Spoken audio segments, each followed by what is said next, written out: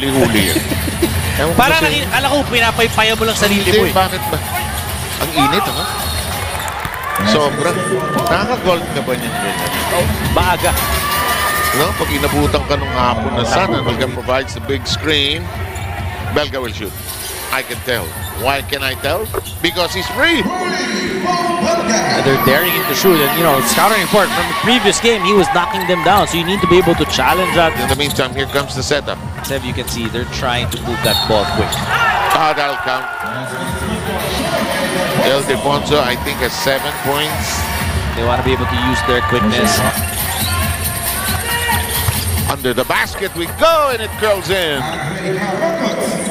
Ante Karapik, one of those guys that has a bright future. Talagang operation talaga ng rain or shine in Yangao team. Sa top of the key, ano? Mm-hmm. Doon ang start ng lahat. Oh, that will work. That will work. Well, you started out also that high para mas madaming spacing.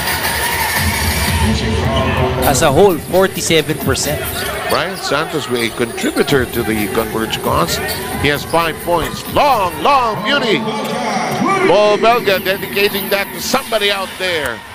May tinuturo siya dito sa crowd. He- natin si Bohini. Because it's Yes. Bo Belga.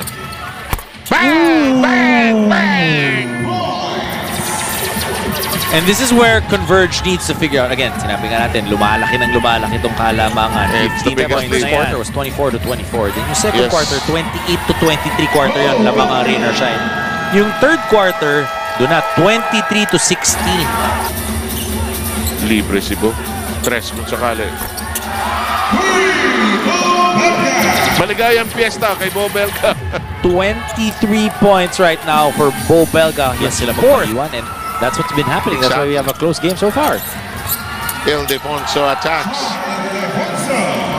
Every time he's dispatched, coming off the bench, he's been able to provide some points. Ang daming energy din kasi nito si Oh. Ildefonso. And all they want him to do is attack that basket. Make himself available when these other guys are trying to Viewers create. saying, Ayan, no, diba? and Yang is still looking for a foul.